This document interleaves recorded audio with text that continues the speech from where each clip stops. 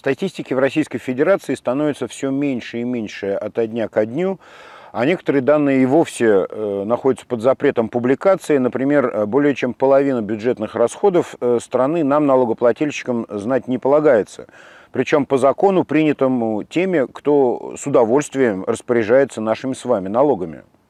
Однако ведущему экономисту современного Башкортостана Рустему Шаяхметову удается каким-то образом некоторые данные находить и публиковать, а мы с удовольствием ознакомим вас с ними. Стало известно, что расходы россиян на продукты питания достигли 37% от э, совокупного дохода. И это критически много. Для сравнения, например, в Соединенных Штатах Америки средний американец тратит на еду примерно 7% заработанных денег англичанин около 9%, а житель Сингапура около 8,5%. И отмечу, что это страны с весьма высокими ценами на продукты питания. А, то же самое статистическое исследование говорит о том, что э, российские молодые семьи резко сократили потребление мяса, молока, молочных продуктов и фруктов. Причем сократили на 8-20%. И, кстати, это вполне подтверждается э, тем, э, что, например, в этом году, в 2023 году, э, в Республику Башкортостан в три раза меньше было ввезено фруктов и овощей, а у нас эти продукты в основном завозные. Так что, ну, как говорится, будем меньше есть.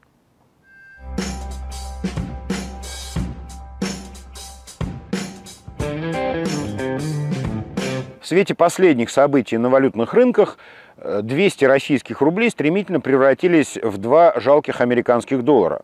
Но даже такой незначительной суммой вы можете помочь нашему каналу, э, помочь нам продолжить нашу деятельность. И перечисляя такие деньги регулярно хотя бы раз в неделю, вы действительно можете быть уверены в том, что мы продолжим э, своевременно и качественно вас э, извещать о событиях в нашем регионе. Сделать это можно единственным способом. Мы публикуем расчетный счет, на который вы можете перечислять те суммы, которые считаете возможным, и мы заранее за них вам очень благодарны.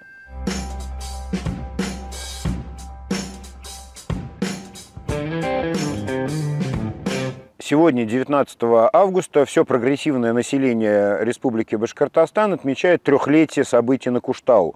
Того самого редкого в Российской Федерации случая, когда народная стихия смогла хоть чего-то добиться от властей. Можно разнообразно оценивать итоги этого столкновения, можно недоумевать от того, что э, главными выгодоприобретателями оказались вовсе не конфликтные стороны, а какие-то третьи друзья Путина, но нельзя отрицать и того, что три года назад у подножия горы Куштау население дало организованный и весьма эффективный отпор, э, ну, в конец уже потерявшему берега э, административному ресурсу, той самой команде Хабирова, и мы всегда будем помнить тот животный страх в глазах дорогого Радия Фаритовича, который мы все наблюдали на видеокадрах, когда он, мокрый как курица, стоял с неработающим мегафоном перед разъяренной толпой. В эти самые минуты, вот прямо сейчас, у подножия Куштау собирается некий стихийный праздник.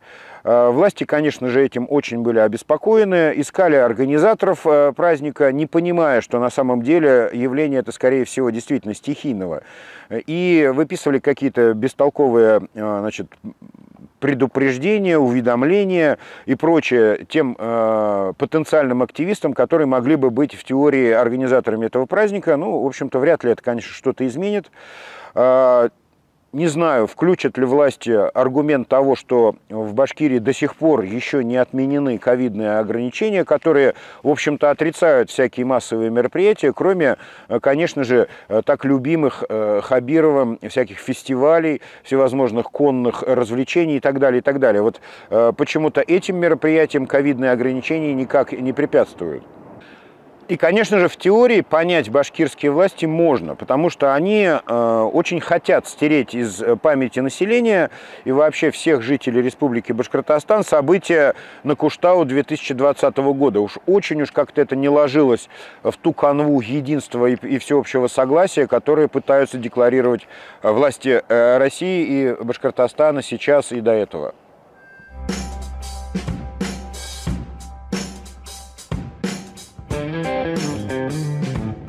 Конце минувшей недели наконец-то вернули золотое навершие на четвертый минарет мечети Ар-Рахим.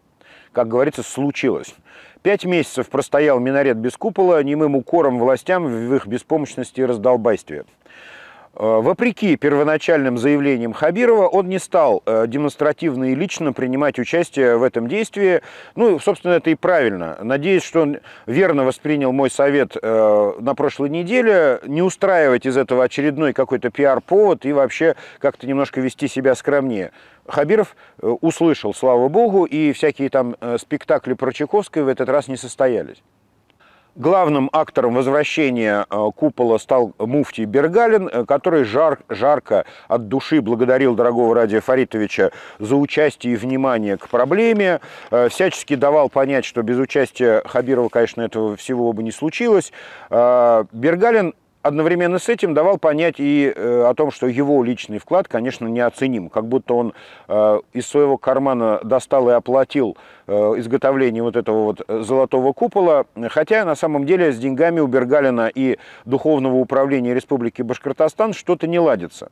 На прошлой неделе параллельно стало известно, что один из его замов, заместителей управления вот этого Духовного управления мусульман Республики, некий Габдракипов, подал иск в суд к Духовному управлению мусульман и Бергалину лично за невыплату зарплаты на протяжении двух лет. По крайней мере, э, Габдракипов в своем заявлении в суд утверждает именно так. Судебное заседание состоится в первых числах сентября, и если утверждение господина Габдракипова получит подтверждение в суде, и он сможет это доказать, то господину Бергалину, кстати говоря, вполне себе может грозить даже уголовное наказание за невыплату заработной платы. Нынче в России, если руководитель не платит зарплату сроку более 6 месяцев ему а, могут вменить уже уголовное преступление.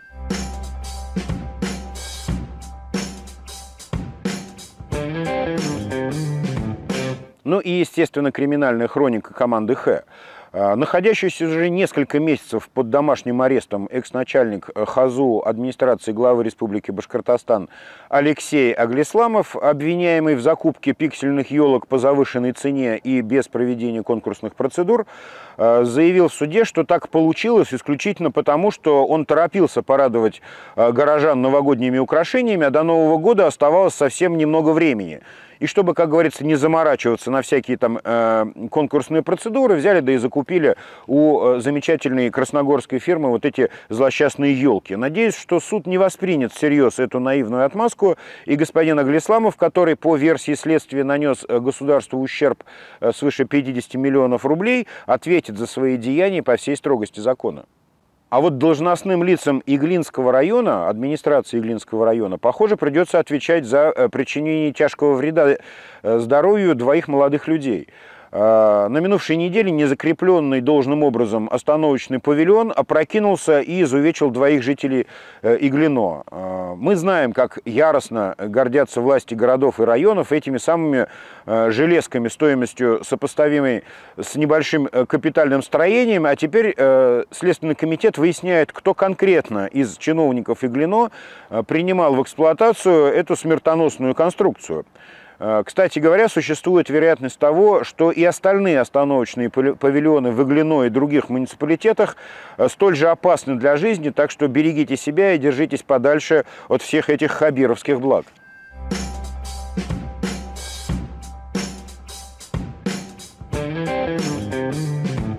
Напомню, что на оперативном совещании в правительстве в минувший вторник Хабиров не стал слушать доклад о ситуации в жилищном коммунальном хозяйстве, заявив, что в этой сфере, по его мнению, все ровно. Так вот, ровно 70 прорывов водопровода и канализации насчитали СМИ э, только за минувшую неделю. 70 обрывов, прорывов и протечек. Комсомольская, Губайдулина, Российская, Макарова и еще десятки улиц и домов. Повсюду потопы воды, провалы асфальта и затопление подвалов. Если это, по мнению Хабирова, ровно, то что же тогда неровно? Власти города и республики в упор не видят того, что на фоне регулярного удорожания жилищно-коммунальных ресурсов инфраструктура города Уфы и многих крупных муниципалитетов э, республики движется в сторону полнейшего коллапса. Но, повторюсь, властям не хочется об этом даже слышать. Комичный случай произошел э, с жильцами дома номер 21, дробь 1 по улице Комсомольской. Когда у них прорвало э, водопровод и двор, и, и подвал дома стало стремительно затапливать, они позвонили и вызвали МЧС. Ну, потому что, по их мнению, это была чрезвычайная ситуация.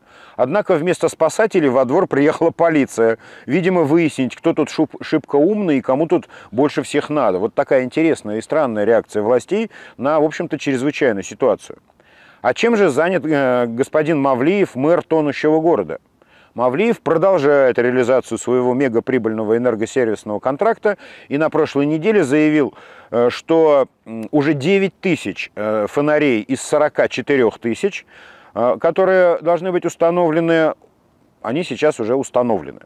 Стоп изначально звучала цифра 47 тысяч фонарей. И эта цифра прозвучала э, публично на совещании у Хабирова. При том, что эти 47 тысяч потом еще неоднократно подтверждались. И, собственно, они содержались в контракте. Теперь Мавлиев говорит о 44 тысячах.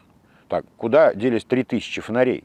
И изменилась ли сумма контракта в связи с тем, что фонарей стало меньше? А как обстоят дела с реестром российских товаропроизводителей, в который должен обязательно состоять поставщик светильников? Надеюсь, что прокуратура уже приступила к проверке э, компании «Башлайт», которая по факту поставляет эти самые светильники городу Уфе. Да и, собственно, вот с этим изменением цифр, которые озвучил э, юный мэр Уфы, надо бы тоже разобраться.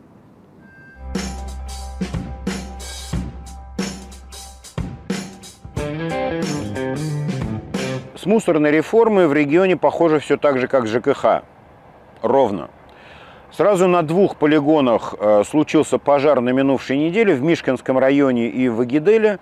Пока э, непонятно, было ли это случайность или все-таки это новый способ утилизации твердобытовых отходов.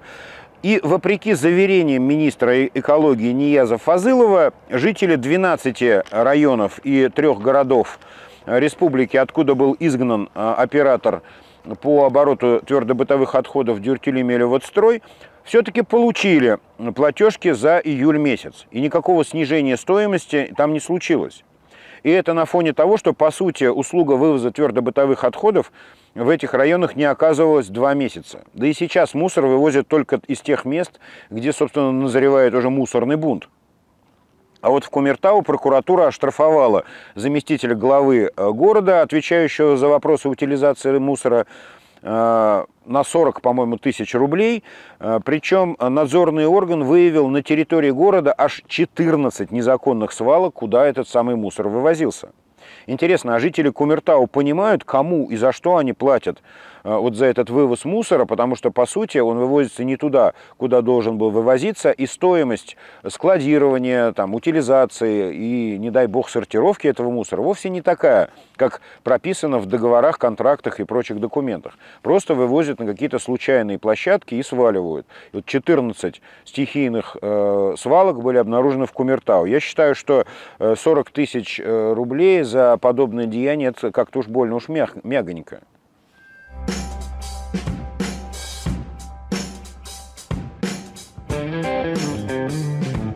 Вообще складывается ощущение того, что жители Башкирии начинают что-то потихонечку подозревать и в чем-то потихонечку прозревать. Как иначе можно объяснить тот факт, что сразу одновременно в нескольких районах вспыхнули конфликты между населением и властями? Мы неоднократно освещали ситуацию села Подольское, жители которого принудительно выселяют куда попало, потому что их дома и их деревня э, стоит на богатом меднорудном месторождении. Так вот, жители этого села, похоже, окончательно поняли, как их развели и прокинули, причем прокинули, как говорится, устами самого Радия Хабирова. В 2019 году он публично пообещал за счет национальных проектов и программ выстроить новый поселок в районе э, села э, Сукрак, который в 6 километрах от этого села Подольское, а теперь жители этого села э, выясняют, что Хабиров э, ну, попросту их обманул. Сам же Хабиров делает вид, что ничего такого не было, а жители изумленно узнают, что Ради Фаритович и пальцем не пошевелил, чтобы обещания свои сдержать.